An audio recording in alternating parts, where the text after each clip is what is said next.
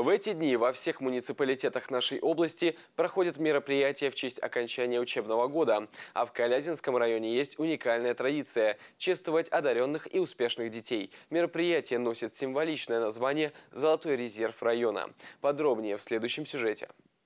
В районном доме культуры чествовали самых талантливых и одаренных детей. Победителей и призеров районных олимпиад, ребят, имеющих достижения в учебе, спорте, творчестве и искусстве. В этом году награды получили 320 человек из школ района и студенты двух калязинских колледжей. Наши ученики зарабатывают баллу, и э, сертификат равен там выплате, мы потом выплачиваем эти, эти суммы из бюджета Калязинского района. Это уникальный э, опыт, тем самым мы стимулируем наших детей хорошо учиться, заниматься э, спортом, вести здоровый образ жизни, развивать творчество, знать свою историю, нашу культуру.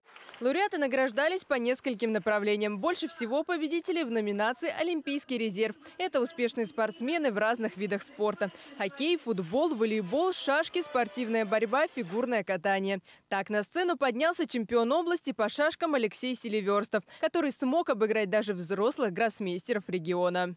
Соревнуясь с гроссмейстерами и мастерами спорта, вошел в сборную Тверской области и в составе команды сыграл на чемпионате России.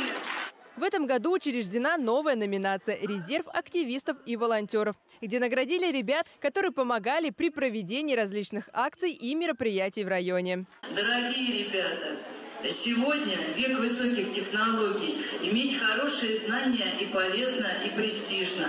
Вы наши золотой резерв, потенциал нашей страны. Вы наша гордость и слава Калязинского района.